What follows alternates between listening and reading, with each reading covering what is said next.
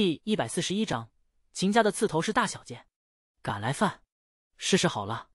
这睥睨霸气的做派，看得姬人均是一震。你，你倒是大口气。谢氏被他的眼神一瞥，心里直犯怵。二婶怕是忘了我刚才所说，我乃玄门中人。二婶，我给你一个忠告：您得罪小人和贵人，也莫得罪道士，尤其是道法高深的那种，不然。道士能有数众，就能叫你倒霉，甚至叫你祖宗子孙都倒霉的手段，而你查都查不出来。得罪道士，人家往你家祖坟搞点阴私，你全家都得跟着完犊子。当然了，他不会做这些损阴德的手脚，但赵家先动手，他对其做一些小惩小戒，天道也不会罚他，毕竟因果摆在那。咚！谢氏心里却是猛地一跳，看了过去，顿时想到自己这阵子的倒霉事了。难道他从中做了什么诡异手脚，而自己不知？秦流熙笑得一脸无害，眼神幽深。是我做的，你倒是查出来啊！秦老太太却是想着刚才他的那话，淡声问道：“这么说，你是觉得这些年秦家并无庇佑于你了？”母亲，希儿不是这个意思。王氏连忙打圆场。秦老太太一个眼神逆过来，我问的是他。王氏抿着唇。越发担忧的看着秦流西，谢氏瞧了有些幸灾乐祸，秦流西却是半点不惧老太太的怒色，道：“无可否认，我姓秦，确实也占着这姓氏身份带来的几分便利和安逸。可祖母这般问我，那孙女反问祖母：‘您觉得呢？’我是全指望了秦家庇佑，才活成这般模样么？祖母可知，一个五岁的孩子离家离父母家人独自生活。”但凡赤元老道不靠谱，或者是个招摇撞骗的假神棍，我又会如何？赤元老道真是我好徒儿，黑得一手好师傅。屋子里气氛一下子有几分剑拔弩张。仙儿，你一个做晚辈的，怎么跟祖母说话的？还不快道歉！王氏站了起来，避着秦老太太疯狂的打眼色。这个刺头，可快别火上烧油了！要是老太太有个好歹。一个不孝的名声就得落在他身上了。秦流西现了，有些无趣，站起来欠了欠身，道：“孙女知错。”秦老太太看他那副态度，越发觉得来气，声音也冷了几分，道：“我们怕是当不起的，毕竟秦家亏欠了你。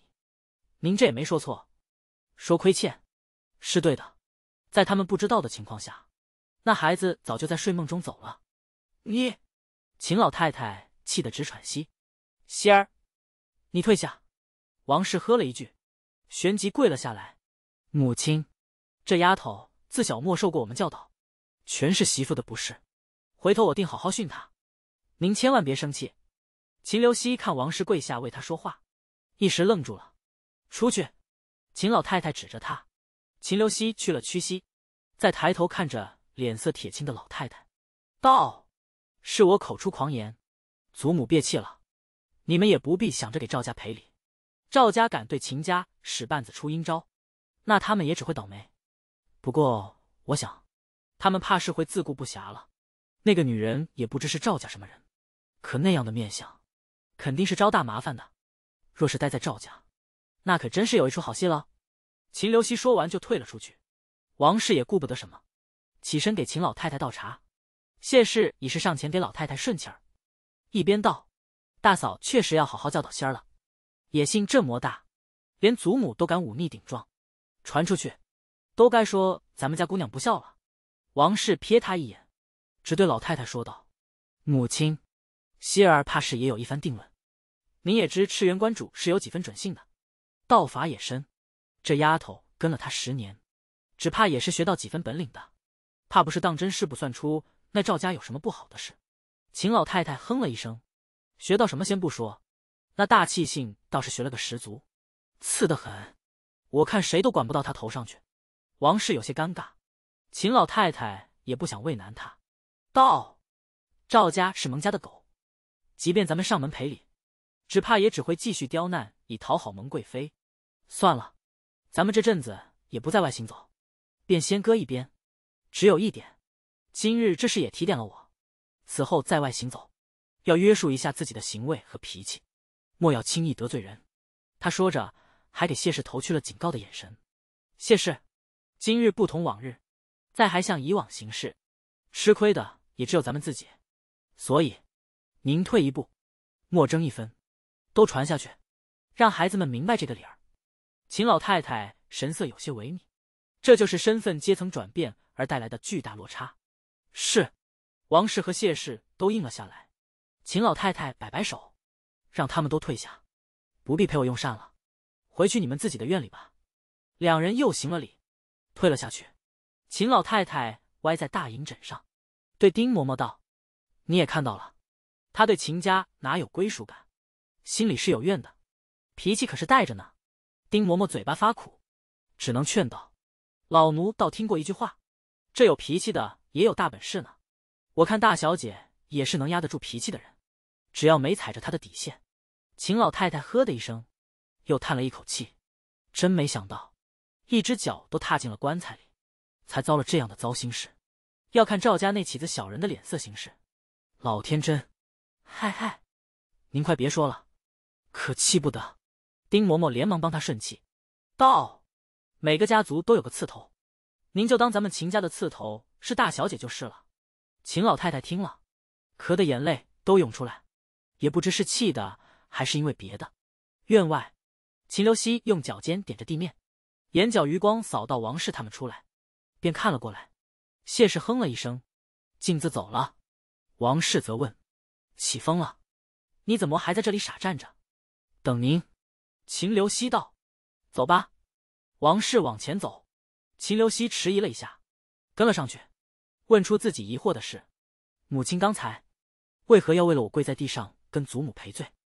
您大可不必这么做的。”王氏脚步一顿，转过头来。看秦刘熙一脸不解的样子，说道：“纵然我不是你亲生母亲，可也是你嫡母。你既然记在我名下，那就是我的女儿了。俗话说，养不教，父之过。我们没教导好你，那就是我们做父母的错，自然要替你承担。”第一百四十二章，理当维护你，我们替你承担。秦流熙有些呆愣的看着王氏，胸腔处有一股陌生的感觉。说不出是什么，酸酸涨涨的，很是陌生的情感。母亲是说我错了，他抿着唇问：“哪里错了？”说事实也错。王氏看他像一只小狗似的，无措茫然，同样有些呆愣，又叹了一声。秦流熙五岁离家，两人仅有的相处，也就是五岁之前那几年，自己夭折一子，心如枯槁。好在又得了一个儿子。生怕他也像长子那样没了，整日患得患失的，难免对他过多看顾，倒忽略了只比次子大三岁的秦流熙。说起来，他们确实没有太多相处的时光和感情。秦流熙不懂的情感，自己何尝懂太多？这孩子再沉稳冷静，也始终只是个刚吉吉，靠自己摸索着长大的孩子。王氏上前拉了秦流熙的手，与他一道往自己院子走去，道：“说你错了。”倒不尽然，你只是豁达自在惯了，无人灌输你这种世俗的孝仪规矩。希儿，我管你平日行事，玄门中人理应不会受世俗太多约束，潇洒自如，无拘无束，可在大风。开国高祖以孝治国，世俗中，尤其是世家里，孝仪规矩是极重要的。就如刚才你顶撞祖母，传出去也是会引起诟病的。不孝这样的名头。是谁都不敢担的，哪怕他身居高位，也断不敢被冠上不孝的余名。秦流熙默然，他不孝了吗？你刚才与你祖母所言，你或许是对的，可你想莫想过，你祖母已是上了年纪，身上也不是，万一他被你气出个好歹，人不好或是绝过去了，你还能摆脱这不孝的愚民？秦流熙立即道：“母亲且放心，我是道医，我医术很好的。”就是被气着了，我也不会让他出事儿。王氏一噎，你说的我竟有些无言以对。秦流熙又笑，不过母亲肯如此维护我，刘希领您这个情了。他退开一步，郑重的向王氏施了一礼。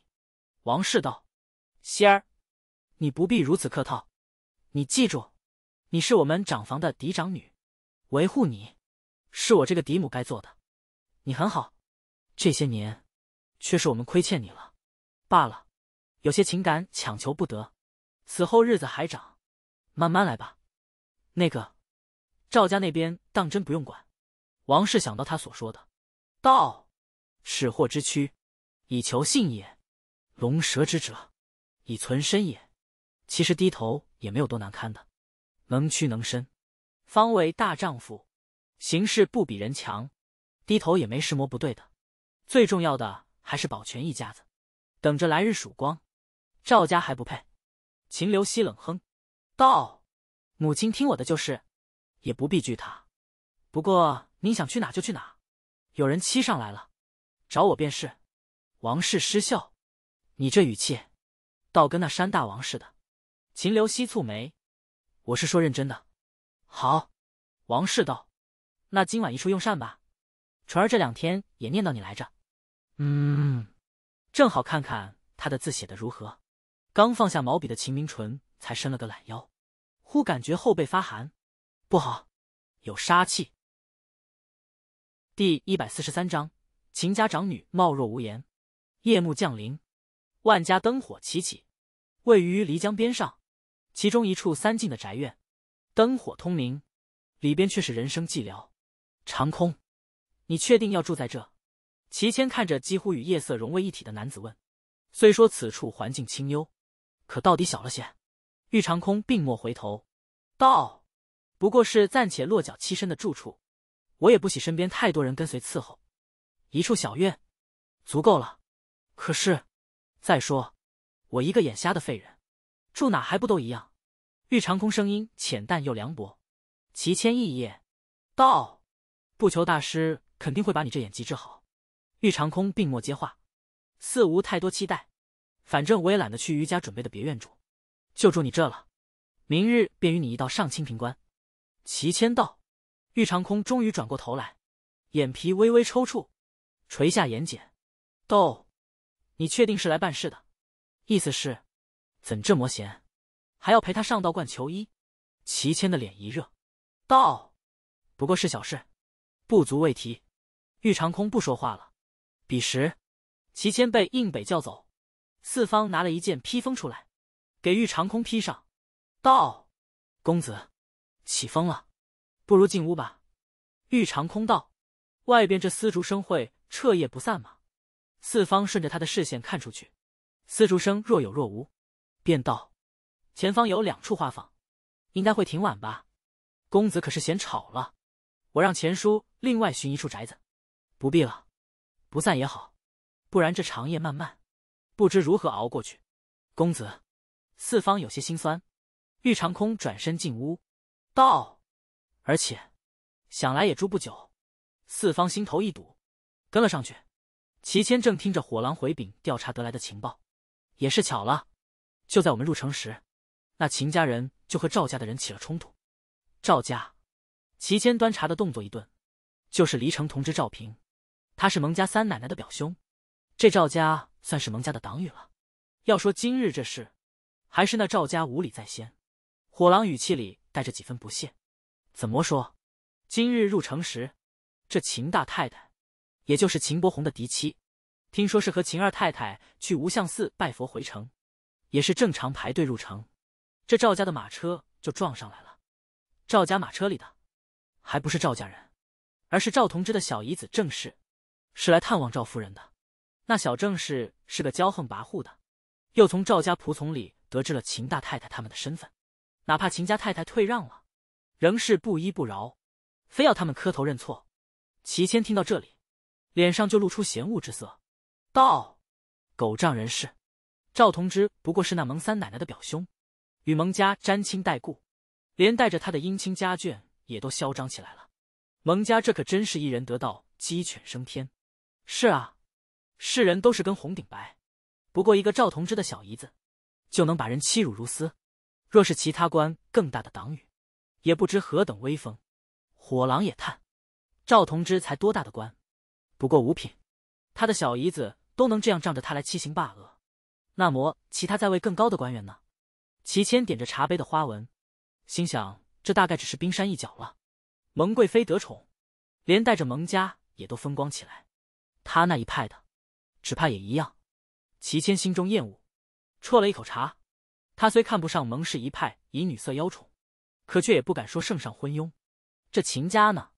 秦家回离城后一直闭门不出，十分低调。今日是第一回出城进香拜佛，却不想就遇上了和秦家不和的赵家党派。秦家得罪了赵家，又是一屋子的老弱妇孺，只怕以后再离城也难以立足。火狼回道：“此外。”秦家四是想要拜访丁老太太，正好是咱们秋节前在驿站遇着丁家人那个时间。齐谦立时料然，只怕是那丁家特意避开了，不然那丁老太太偏偏就那会儿上周府过秋节呢，怕着和秦家来往了而被蒙家记恨吧。墙倒人推，世态炎凉，秦家被抄没了家产，如今这老宅又都只是女眷老弱，他们以什么为生？齐谦又问，火狼便道。秦家虽是抄家来的突然，但也不是所有人都避之不及。出京之时，总会有人私下接济一点，不过日子过得清苦些罢了。火英他们查到秦家在隔壁县买了些良田，挂在老宅总管的名下。此外，那被宋家休弃回来的秦家大姑奶奶也在饭庄寻了个活计，家中女眷多是做针织女红换银钱。齐谦道：“除去流放的男丁，秦家如今都还有什么人？”长房秦伯宏有两子一女，长子刚满十二，也跟着流放了。可这长女，火狼说着顿了一下。齐谦看了过去，怎么了？火狼脑中闪过什么，快的让他抓不住，便摇了摇头道：“这长房长女有些奇怪，听说自小就因为身体不好寄养在老宅。秦家人回来之前，他自己在老宅里跟着仆人过活，深居简出，一直没接回京。”也先少陷于人前，独自一人。齐谦也觉得有些怪异。火狼点头。火鹰到末查出什么？只知秦家有女寄养在老宅，身体和八字都不是很好。齐谦讥讽：“那秦家也未免太狠心了些，把个小姑娘丢在老宅过活，还说养身体，是推她送死吧？毕竟是内围的事。”火鹰也莫深究。其实这也不是什么稀奇的。其余世家也不是没有类似的事。秦家这姑娘好像还是个庶出，她若不是身体八字的问题，那就是貌若无颜，或是有什么缺陷了。不过这也亏的是年纪小就送来了，若是半大的姑娘，那就更遭人诟病和乱传了。火狼语带唏嘘，貌若无言的不求大师摸了摸一张帅脸，呸了一口，眼瘸是病。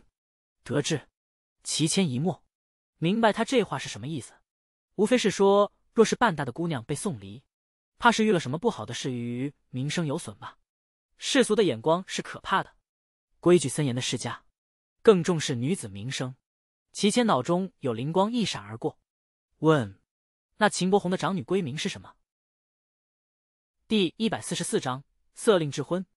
乍听得齐谦问人家闺名，火狼不免嘴角一抽，有些无语。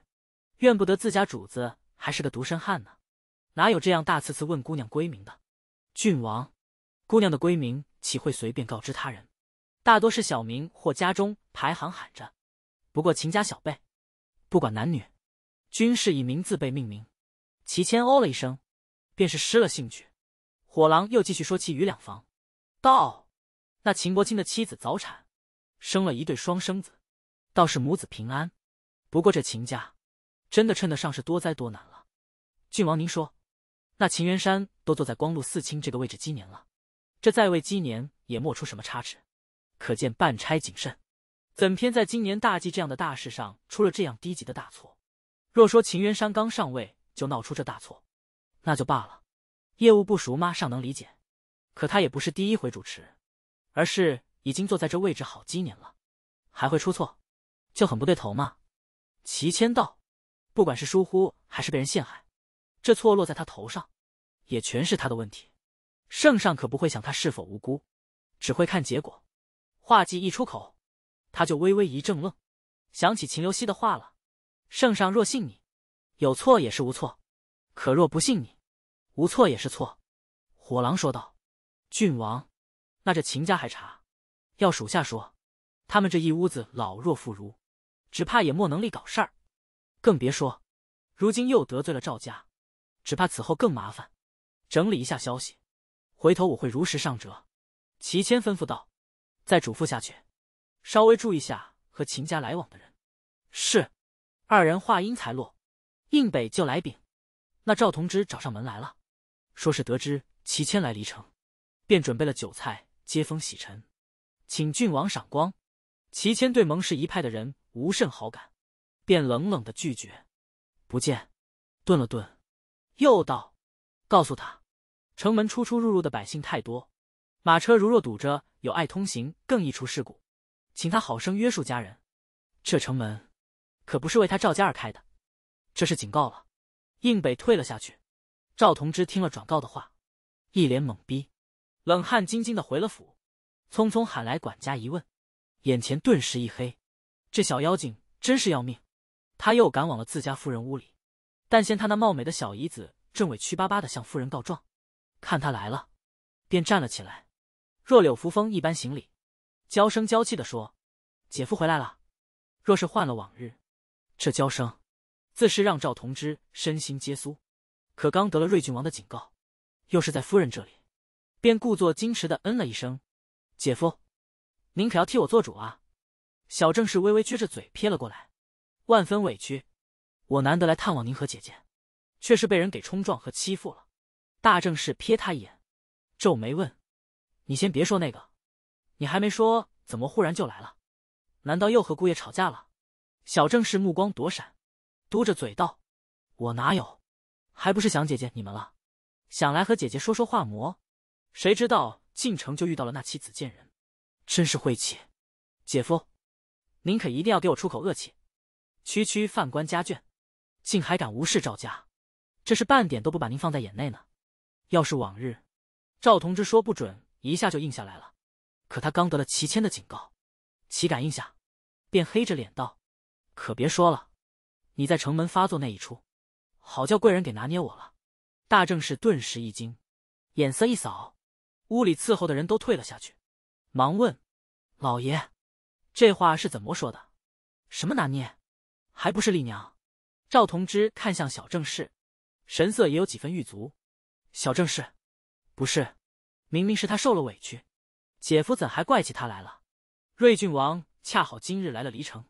丽娘和那秦家人起的冲突，正好那会儿叫瑞郡王他们遇着了。就刚才我想给他接风洗尘，连人都没见住，还敲打警告了一番。赵同之沉声说道：“说离城的城门不是为赵家开的，你们听听，这可是好话。”小郑氏惊呼出声：“瑞郡王，姐夫是说宁王府的那个？他竟是来了离城，就跟在我马车身后。天哪！”他这是错过什么神仙人物了？丽娘，你闭嘴！大正是气得要命，白住脸问赵同之：“老爷，该不会瑞郡王因此记恨你了吧？这不至于吧？”赵同之也有些忐忑。大正是蹙眉道：“不管如何，老爷还是小心行事好些，莫要太张扬。毕竟黎城也是宁王封地管辖内。还有，这瑞郡王来黎城是为何？老爷还得查一查呀。”别是要抓咱们什么把柄？赵同之后背的汗毛竖了起来，道：“我这就去找几个幕僚说话布置一下。”小郑是眼看着赵同之就这样要走，顿时懵逼，道：“姐夫，那我怎么办？秦家人如我如斯，就这样算了。”大正是沉了脸，冷冷的扫过去：“若不是你不知收敛，你姐夫也不会被瑞郡王盯上。你还敢抓着这点不放，是嫌你姐夫这官位坐得太稳了？”小郑氏脖子一缩，委委屈屈地道：“我这不是看那秦家趾高气扬的，不给点教训，还以为自己能坐到姐夫头上了。秦家已败，如今在离城的不过是些老弱妇孺，还能翻得出风浪？”大正是哼了一声：“要收拾他们以后，有的是时间。眼下肯定是得在瑞郡王眼皮下安安分分的。”赵同之也道：“是啊，等瑞郡王走了，一切好说。”只要官身还在，要出气还不是上下嘴皮子一颗的事。反正秦家的老宅都在离城，在他眼皮下。可要是这官没了，那就什么都完犊子了。是有份轻重，他是懂得的。小郑是被两人一堵，心里不痛快，却也不敢说什么，只气呼呼的摔着帕子出去了。大正是摇头，这妹子是被爹娘给宠坏了，一点都不知天高地厚，偏还说不得。老爷，你也快去安排吧。赵同之点头，快步离开镇屋。只是在通往书房的路上，他就被一只手给拽到一丛芭蕉树后，吓得差点魂飞魄散。丽娘，你躲在这里做什么？想吓死你姐夫我呀！姐夫，您真的舍得看着丽娘受委屈？小郑是一脸的渲然欲泣，柔软无骨的手还勾着他的腰带。赵同之脑袋一眨，一时色令智昏，道：“肯定不能啊！你等着，姐夫肯定给你出口恶气。”小郑是这才笑了，还冲他抛了个媚眼，心头得意不已。他就等着看那秦家太太怎么痛哭流涕，还有那死丫头。哼！第一百四十五章，桂官的传信方式真别致。清平关才打开关门迎信众，便先迎来了两个贵人。齐谦恭敬的给祖师爷上了一炷香后，这才看向一旁站着的中年道长，问道：“清远道长，敢问赤元关主可在？”清远拱手躬身行礼，温声回话：“善人大善，也是不巧，我们家关主云游去了。”齐谦又问：“关主不在也无事。事实上，我们是来求医的，请道长为我等引荐不求大师。”清远看向依旧矗立在祖师爷面前岿然不动的玉长空，他的眼睛始终没看过来，只是眼皮时不时抽搐一下，眼球旁浮不能定焦。再想到他进殿时，始终被一个小厮虚搀着手臂，便知他是得了眼疾。不过相比眼疾，这人的面相可真惨淡，出身虽显贵，却是父母双亡，还是横死那种。他周身更萦绕着一股亦正亦邪的气。十分复杂，清远又扫一眼齐谦的父母官，垂下眼帘，心里暗暗嘀咕：近朱者赤，近墨者黑魔。眼瞎之人，五感也敏锐，似是察觉到清远的打量。玉长空转过头来，眉目浅淡又凉薄：“道长，我们远道而来，诚心求医，还望引荐。”钱叔上前向清远拱手，满脸诚恳道：“若不求大师。”能治好我家主子眼疾，我们愿给祖师爷塑金身一座。清远眼睛一亮，塑金身。他看向祖师爷，有种错觉，他老人家的嘴都咧开了。瞧瞧，那香炉上的香都燃的要快些，可不是兴奋造的。他收回视线，轻咳一声，道：“浮生无量天尊，不求师，兄他正在修炼中，也不知何时出关。贫道不敢替他擅自做主。”善人们不妨先在客居休憩。贫道潜信去问：齐谦，他竟不在关中？是的，潜信太慢，不如清远道长告诉我们他在何处，我亲自让人快马去迎。齐谦说道。清远笑道：“不慢的。”他当场就抽了一张黄纸，在上面写了几个字，然后叠成了一只千纸鹤，嘴里吟咒，手指掐诀，那纸鹤竟是扑腾一下动了。绕着祖师爷的等身像绕了一圈，在众目睽睽之下飞了出去。活，活了！四方目瞪口呆，结结巴巴地道：“主子，一只纸鹤活着飞了出去！天哪，这也太叫人震惊了！那明明是一张纸叠成的鹤，可那道长不知念了个什么咒，就这魔在他们眼皮下活了，还飞走了。”齐谦等人都感觉打开了震惊的大门，这也太玄乎了吧！清远看众人惊愕敬佩，心中有点得意。他这也是为了给官里吸纳信众，才显摆露这一手。魏帝是香火信仰啊！钱叔面露凛然，对清远拱手道：“道长真是法术高深，这还不是关主？那这清平关主的道法又是何等高深？还有那不求大师，他忽然多了几分希望。多年前那叫慧云的得道高僧批公子的眼疾会在二十岁将近时会有转机，莫不是印在这里？”清远一脸谦虚的摇头，不过是个小法术罢了。我也学了许久才学到这一点，不像某个变态，天生就会的。乃至于他总被关主拧着耳朵骂。看看他，再看看你，学的是屎吗？呜，他能和变态比吗？不能啊！想起学术练功被某变态碾压的那些年，清远都想掬一把辛酸泪。这就行了吗？不求大师真能收到，且等着就是了。很快就会有回音的。清远含笑道：“不如我们一步客居等。”素金身啊！祖师爷也听到了，他不想动都不行，不然祖师爷可要生气了。秦留希一大早就打了几个喷嚏，慌得齐黄追着他给他家披风，又要给他扶脉。别瞎忙，没着凉。秦留西摆摆手，忽似有所感，推开窗户，一只纸鹤落在窗棂上，他拿起来，展开。有人求医，许诺祖师爷素金身，速来。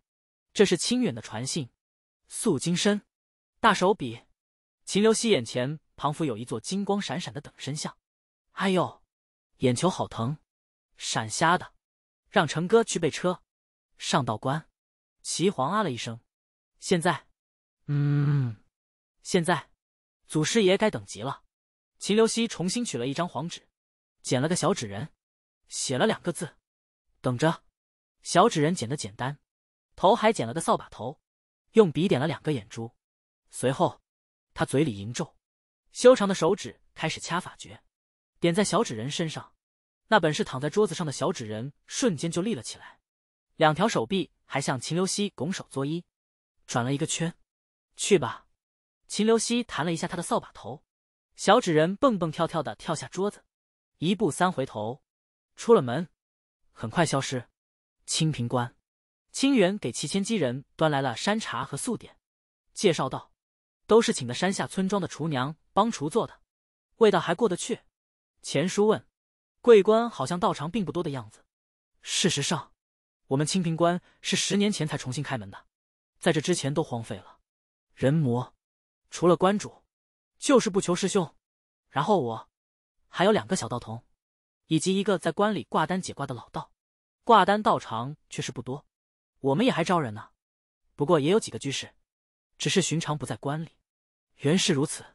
四方把茶和素点都放到玉长空跟前，道：“公子，这包子做的不错，你也吃点。”嗯。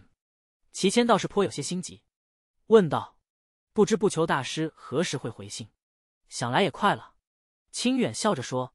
话音才落，他眉梢一挑，来了。众人顿时往空中看去，来了，哪里？没有那纸鹤的影子啊！刚拿起包子咬了一口的玉长空忽然一僵，他的手往腿那边扫去，碰到什么？手一麻，又往后缩去，整个人都僵住了。什么鬼东西？众人看过去，咚！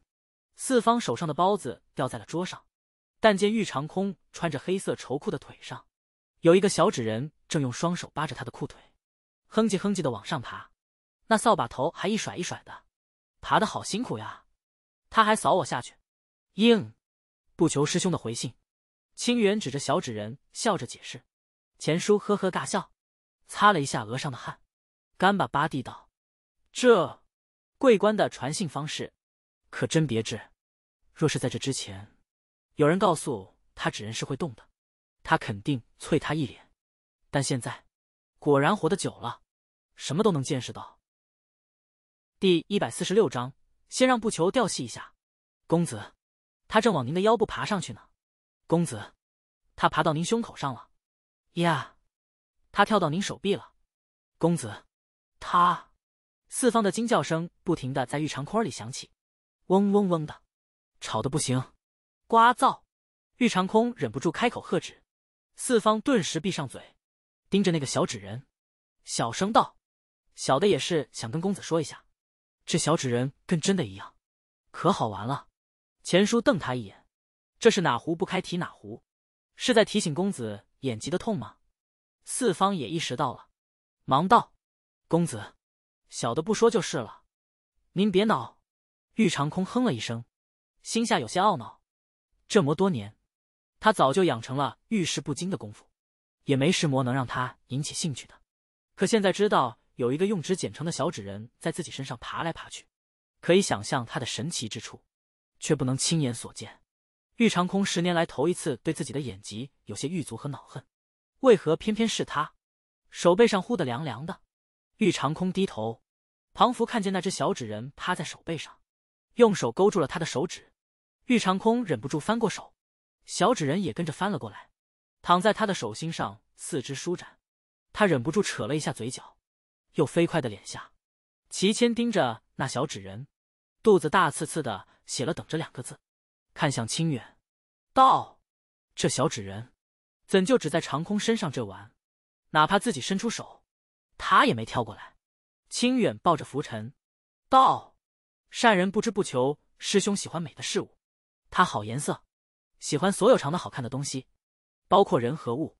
这小人是他手下捡出赋予灵气的，估摸也是随了他的喜好。”齐谦看向玉长空的脸，所以是因为他墨玉长空长得好看吗？好肤浅的喜好。玉长空忽然有点好奇，那是什么样的道长？是怎么回事？师叔来了。小道童在道院门口喊了一声，众人顿时看了过去。只见秦流溪一身素青衣袍，披着月白色绣青竹雕鼠披风，背着手从外而进，眉目浅淡，笑容有些盛，是因为许诺了给祖师爷塑金身的缘故么？诸位师兄他来了。清远笑着说：“齐谦他们倒没失魔，可第一次见秦流溪的钱叔和四方，以及一直在一旁当柱子的护卫大琼。”看清秦流溪那张脸时，军士一愣：“道长，这是您师兄？”钱叔有些不敢置信，说是他儿子辈也不为过吧？还师兄？清远摸一下自己的脸，道：“玄门中人，不以年龄论长幼，而是以入门先后。师兄比我更先拜入师傅门下，自然是师兄了。再说，师兄道法也比我高深。”众人，秦流溪已是走了过来。看向齐谦，道：“瑞郡王倒挺闲，又见面了。”齐谦道：“我来离城办事，顺便陪挚友来求医，不求大师。”钱叔和四方向秦流溪拱手作揖。虽然他年纪看起来这么小，可他有能耐啊！瞧那小纸人，多精干，都从主子手上呼拉着扑向秦流溪了。秦流溪双手捻着小纸人，站到了玉长空跟前。看向他的脸和眼，目光幽深。关前花香至，端视玉人来。玉是长空，当真一副好颜色。来都来了，先让不求调戏一下。玉长空呼吸一滞，视线放平，费力看去，似有光袭来，幻影流动。第一百四十七章眼疾，他能治的。秦流溪盯着玉长空的脸看个不停，上上下下。还用手笔画着，弄得钱叔等人都揣测不已。这不求大师诊治，是这样看诊的吗？从前不见其他良医是这样，都先问诊扶脉，怎还看脸了？齐谦却是想到清源所说，莫名的心头发堵泛酸，道：“秦大夫，长空的脸有什么吗？看这魔入迷，有的自然是美貌了。”秦流溪随口接上：“齐谦、玉长空等人。”清远咳了几声。难得有几分尴尬，看向秦流溪，嘴角动了几下。素金身，秦流西笑道：“长空公子这张脸，是真的好看。你要是拿一条同一上色的布条往眼睛上一缠，不是说笑，这天下的无数女子都会为你尖叫的。听听，这是做大夫该说的。”玉长空手指蜷曲，声音凉淡：“你这是在调戏我，一而再，再而三的，实属忍无可忍吧？”咦，这是调戏？我说的事实啊！秦流溪庞福莫听出那语气里的薄怒，道：“你这眼睛长期失明，固然还是倾城，可若仔细看，你眼球已开始有些萎缩凹陷，眼睑痉挛，眼底充血，不经意的扫射还会斜目，影响美观。所以若是缠上布条，那就是绝世美颜了。”众人听了，都看了过去。从前不曾注意，因为玉长空不喜他人瞪视他的眼看，所以也自动的不去细看。可现在看来，好像是这样呢。玉长空敏锐的感觉到所有人的视线都落在他的眼睛上，下意识的就想躲避。大师，那我家公子这眼还能治愈吗？钱叔小心翼翼的问。玉长空别开眼，神色淡漠，藏在袖子下的手指却微微蜷缩起来，心也略提着。是啊。长空，他这眼疾有十年之久了。十年啊，倒是有些长了。玉长空的心落了下来，自嘲一笑，果然不能欺。他站起来想要走，不过是因情志所伤而得的青光眼疾，就被你们能拖上个十年。遇事是不想他好磨，都寻的什么医者看诊？秦留西拿了一颗核桃仁扔进嘴里嚼着，瞎十年，真可惜。众人一愣，玉长空更是转过身来，面向秦流溪道：“你是什么意思？是说他的眼疾因为拖延而治不好，还是说他能治？大师，您是说您能治好我家公子的眼疾？”钱叔激动的问。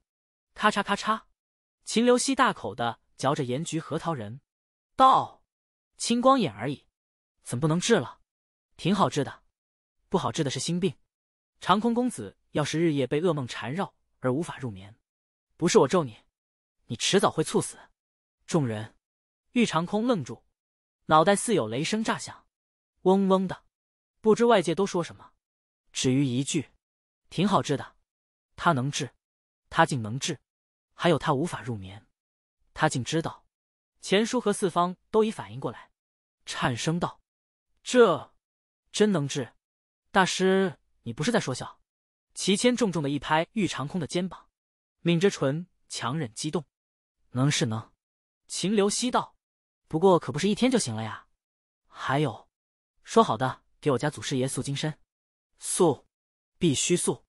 我这就让人准备。桂冠所有神像。”我们都能塑。钱叔痛快的一击掌，比起他家公子的眼睛，银子算什么？第一百四十八章不求说，信我。秦留希说能治。钱叔等人虽然激动，但平静下来后，还是仔细问他：这如何治？需要什么药材？是不是先望闻问切？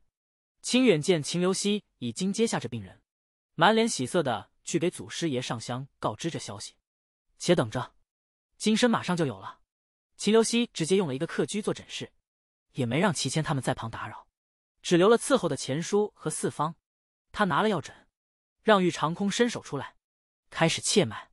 不一会就摇头，肝胆火旺，肝肾阴虚。玉长空、秦留希换了一只手，摸着脉象，又道：“哟，脾胃也虚寒。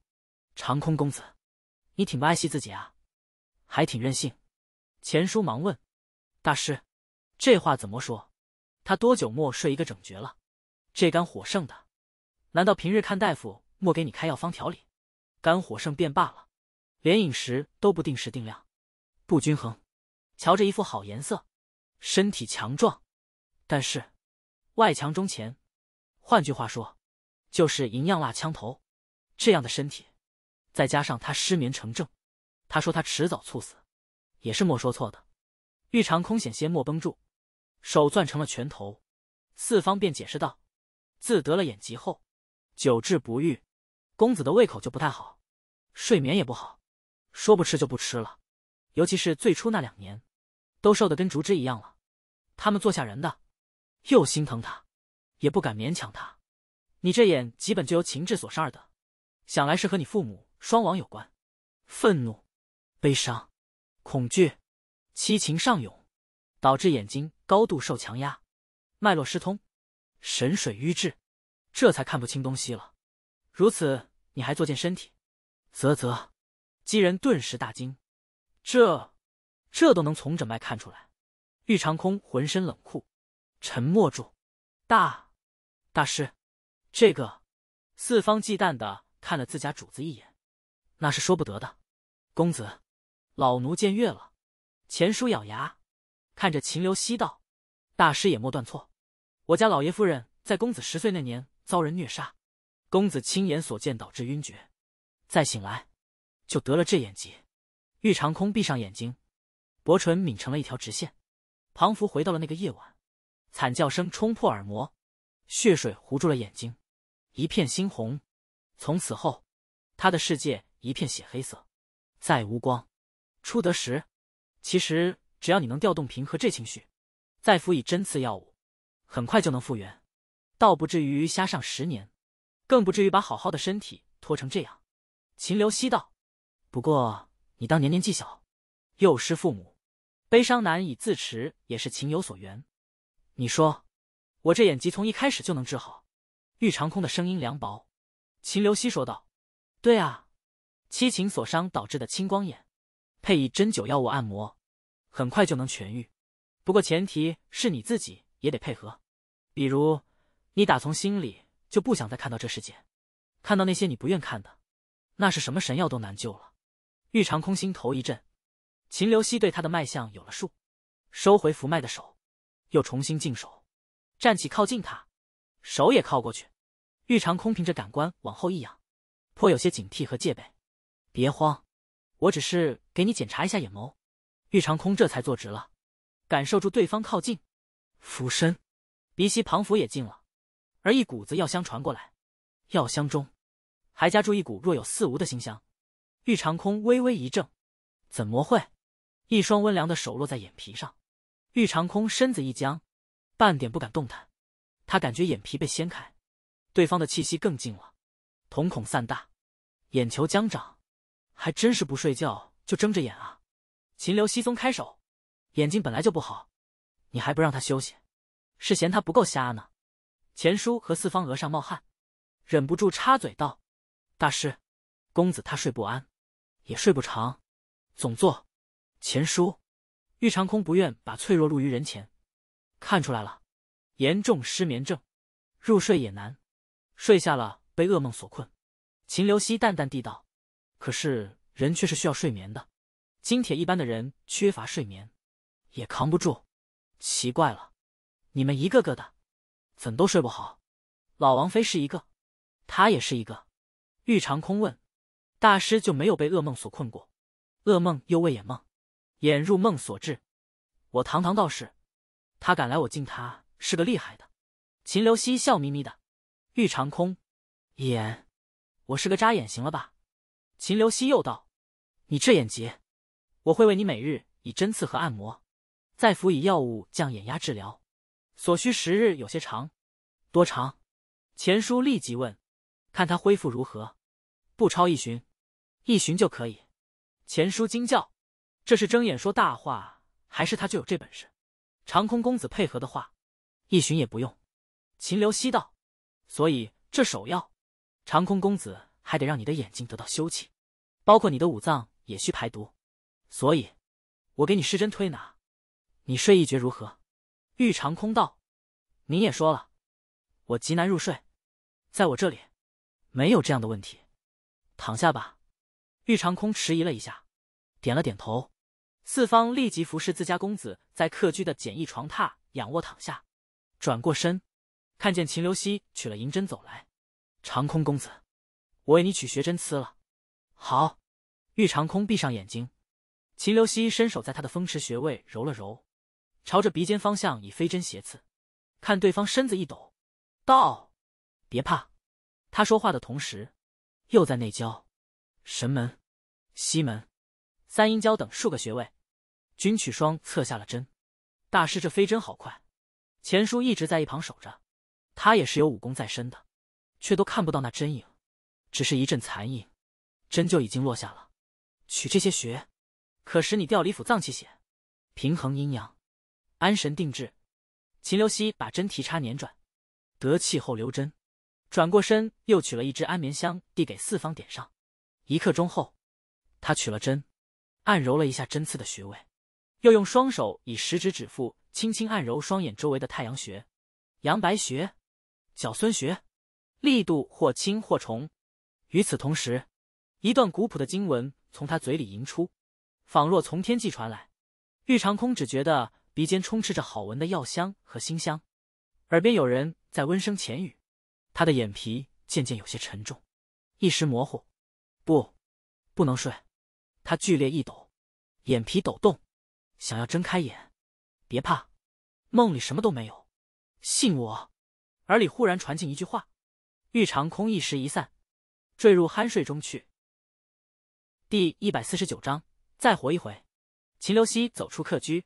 现齐谦等在外头，眉梢一挑，郡王和长空公子倒是知交好友，是担忧我治不好他，还特意在这等着。齐谦拱了拱手，道：“我与长空确实自小相识，他眼睛若没有出事儿，他本该是遇事最精彩绝艳的那个人。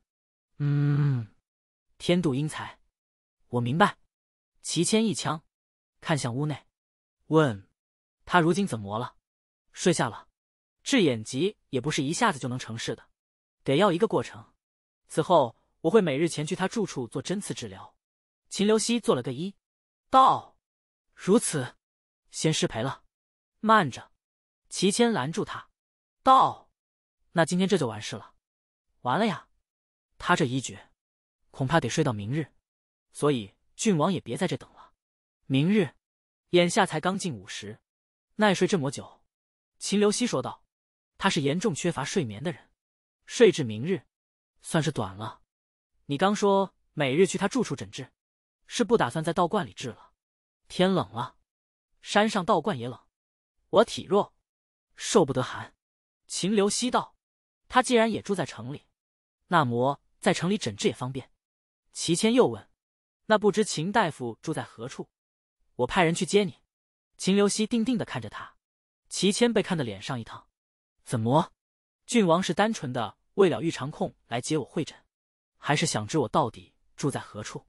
秦留希脸上带了几分揶揄，齐谦有些别扭，抬着下巴说道：“自然是为了长空了。万一秦大夫半途撂挑子说不治了怎么办？既然接下病人，又怎会中途撂挑子？这不是违背医德？这样，我若替他治好了，郡王这个好友。”就还我一个人情如何？好，齐谦话一出口，就有些懊恼，张口欲言又止。他其实不是这个意思。若没有其他事，我就不打扰郡王赏景了。那个，我祖母让我带他，多谢你给他回礼。那只木簪，他极是喜欢，如今也日夜别着。齐谦说道：“我也瞧了，那雕工可比我那块符牌精细多了。这酸溜溜的语气是怎么回事？倒也不必谢。”不过是一礼还一礼，老王妃娘娘喜欢就好。至于雕工，送给老人家的东西，肯定得用心些。秦留西轻笑：“我看郡王印堂红鸾心动，想来不日也会有美眷佳人为你做精细的物件。”齐谦正愣，红红鸾心动，他的唇抿了起来。再回过神时，已见秦留西走出视线之外，背着他挥了挥手。齐谦站在原地，有几分狱卒。玉长空一时醒来的时候，一时有些茫然。他在哪？鼻尖处是淡淡的药香味，有诵经声从屋外不远处传来。四方，四方靠在床尾，搂着薄被，睡得正香。乍一听主子的传唤，一个机灵弹跳起来，满脸喜色的问：“公子，您醒了？”玉长空坐起身，道：“我睡着了。睡多久了？”他怎么一点感觉都没有？想必也不长吧。四方看一眼屋内的漏壶，道：“公子，您睡了有一天一夜了。如今是第二日卯时初了。”玉长空一怔，翌日卯时初，他竟是睡了这么久，还没做梦。这不求大师太神了，竟真叫您睡了这么久，您也没有从梦中惊醒，一夜好眠。公子，玉长空回过神，听着小厮哽咽压抑的哭声，有些哭笑不得。你哭什么？奴才就是觉得难得，太难得了。公子多久没这么安睡了，还不会演着？奴才这是激动的。四方又哭又笑，擦了一把眼角。他决定了，从此不求大师，就是他亲爹。玉长空站了起来，伸展四肢，眼前依旧一片黑暗，可他却是十年来头一次感到身体的轻松和富有精力。对方也不过是针灸按摩和念经。从前也不是没有良医给他针刺过，却也没有这么好的效果。信我，梦里什么都没有。玉长空忽然想起一时溃散时，对方说的这句话，确实，梦里什么都没有，没有过往那入梦就会看到的猩红，没有惨叫声，没有那入目狰狞的画面。玉长空问：“不求大师何在？”哦，大师昨日就说了，道观苦寒，公子醒来后。就可以下山回府，他会亲自到府中为公子诊治，直至公子痊愈。四方上前给他整理衣物，道：“钱叔已是去厨房要斋食，用过早膳后，我们就下山了。”嗯，钱叔此时也从道观厨房回来，手上是几碟素包，几碗清粥。见玉长空醒了，也是分外激动，把秦留西给吹得天上有，地下无。言语里全是感激之情，哪怕秦留西没法把公子的眼疾治好，可光是能让他睡得安稳，暗也是极好的。那不求大师看起来年纪如此的小，医术竟有如此造诣。公子，老奴感觉这次当真与从前的大夫名医不同。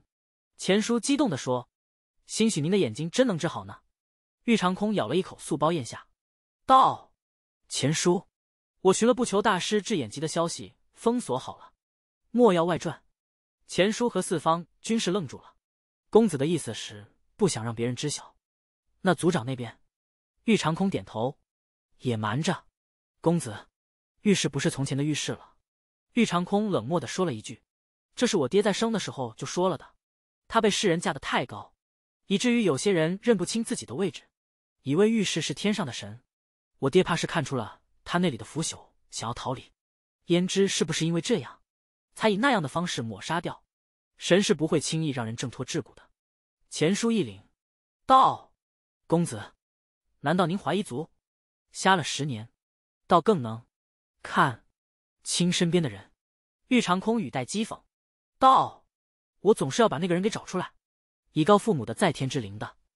而我眼睛一如既往，也能避开一些麻烦。”钱叔欣慰的点头道：“公子能这么想就好了。”四方也开了一下眼角，他家公子总算要活过来了，而非往日那般死气沉沉的。玉长空摸到周碗，端起一饮而尽，目光放空。如果这眼能再现光，那就再活一回。第一百五十章想磕玉长空的颜。公子，不求大师来了。钱淑清自把秦流溪迎进屋内，玉长空站在屋中，顺着药香味的方向向秦流溪拱手作揖。大师，秦流溪看他辨位如此精准，便道：“眼睛不变的人，除眼外，其余五感更未灵敏。”这话倒不像是虚的。长空公子辨位很是正，是靠听力辨位，还有味觉。玉长空淡声说道：“大师身上带着药香味，其实除了药香，还有属于女子的馨香，只是他眼睛不变，并不敢多做揣测。”秦流溪抬手嗅了嗅自己，揶揄道：“亏的是药香。”若是其他味儿，倒叫长空公子见笑了。四方已是上了茶，双手呈递给秦流溪，道：“大师，您可太厉害了！经您施针，我家公子果真从昨日睡至今日。大师年岁该没到双十吧？医术竟如此精湛。”玉长空轻斥：“四方莫要无礼，道家三不问：不问年龄、俗世、籍贯。”四方听了，连忙向秦流西拱手做长揖，是四方冒犯，不懂这些道理，请大师莫要见怪。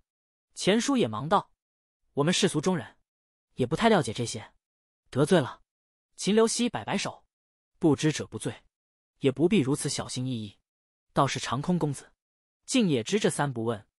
未瞎之前，长空也算是博览群书，跟随父母在外游历时，亦浅浅了解过一些道家道义。”玉长空解释道：“好看的人还满身才华，确实招人妒。”秦流溪笑了出来。玉长空、秦流溪道：“长空公子看来睡得不错，那就开始诊治。劳烦大师。”玉长空坐了下来，秦流溪先坐下来，取了纸笔，先行开方。一边道：“前面说到我会给长空公子针刺按摩和药物治疗，这要分外敷和内服，均是对降眼压起作用的。”敢问大师，这眼压是？钱叔他们也是陪着玉长空多年，从前的大夫诊治时，他们都在场，却没听过什么眼压。秦流溪说道：“这么说吧，一个鱼泡，本是软塌的，往里充气，那气压逐渐大了，可是会膨胀。这眼睛也可以这般理解，受到的压力太高了，便导致眼球肿胀模糊。如由情志所伤的，怒急攻心。”情志过激，则会影响气机运行；气逆上涌，则神水瘀滞，导致视力急剧下降。长空公子这眼疾，便是悲伤过激而起，属于突发急症。要是当时你可以调和情绪，再辅以药物针刺治疗，慢慢的就会恢复了。可你并没有，你甚至潜意识里不想再看到这个残酷的世界了。人生病，若没有一个乐观向上的心，很难和病魔对抗。你从心理上催眠自己，不愿再见光，那又怎么能好？玉长空心头微压，他竟都说准了。您是说，如果当年公子能够平和这七情，就能好了？自然也得遇上良医。秦留希挑眉说道：“若遇上不想让他重见光明的，那再平和，也是难好的。”除了玉长空，钱叔和四方均是脸色一变。秦留希已不看他们的脸色，只埋头写经方，道：“这经方，外敷的是以降眼压明目，内服的同样有此功效，也调理五脏，使精血上升，平衡阴阳。”他下笔很快，先写好了外敷的递过去。钱叔接过一看，里面均是一些常见的药材，当归、茯苓、牛蒡、子女、榛子等。秦留希又写了一张经方递过去，外敷睡前敷眼。这是疏肝明目汤，早晚喝一剂即可。羚羊角粉五钱，玄参三钱，茯苓三钱，车前子三钱，大黄。钱叔喃喃念着，抬头问：“这药材都不贵呢，效用是可以的。”秦留希看过来，笑道：“药材是不贵，滴眼液却是极贵。你们要，明日我可带来。滴眼液是何物？自然是治疗长空公子眼疾的药水。”炮制过程极为繁琐和复杂，所以价格也贵。原本我是想不开这方的，毕竟那玩意要提炼啊，好累人的。钱叔立即道：“只要有效的，再贵的都可以。大师给开吧。”行。秦留希对陈皮道：“陈皮，你陪这钱大叔出去，告诉他该准备何物外敷，如何熬汤汁。”是。钱叔带着陈皮走了出去。秦留希则是对玉长空道。那我们开始针刺了。玉长空有劳，秦留希让他躺下，打开羊皮针包，里面是一排银光闪闪的银针。道：“长空公子可闭上眼睛，一会我会以兖州局部取穴为主，主要为金明、太阳、风池、太冲等几个穴位。我下针稳准，你不必慌。”好。秦留希先行消毒，取了毫针，道：“那来了。”他先在精明飞针下子，捏着针揉捻，问：“可感到酸胀？”“嗯。”眼周都是敏感的，可有了昨日的治疗，玉长空对他竟是多了许多信任，没有半点躲闪和惊慌。秦留希看他如此配合，又飞快的在球后、风池等穴位下针，带的主要穴位都下了，他又坐到了他的头后，指腹轻柔按压着他的头部。玉长空手指微微蜷曲。把自己放轻松了，问：“这次不用像昨日那般唱经，你想听？可以，可以是可以，就是累。”玉长空独时觉得自己为难人了，便要说抱歉，可头顶又传来他的声音：“罢了，我这人就不忍拒绝长的好看的人，就念一段你听吧。”玉长空，秦留希念了一段太上老君清净心经：“大道无形，生育天地。”大道无情，运行日月。玉长空思绪放空，沉浸在经文里面，连对方何时起针也不知。只是在他按摩眼球时回过神来。秦留希的按摩手法很讲究，力度更是恰到好处。从眼球到清明穴，一个流程下来，陈皮他们已是带着湿敷的物件回来，进了药汁的棉帕拧至半前，敷在了玉长空的眼睛上。每次湿敷像这样敷上一刻钟。此外，这些日避免用眼伤眼球。公子还是缠上布条吧。秦留西道。玉长空不知怎地，却想起了他的话：双眼缠上布条，他就是那盛世美颜，他不会是故意要刻他这颜吧？秦留西，可猜太对了。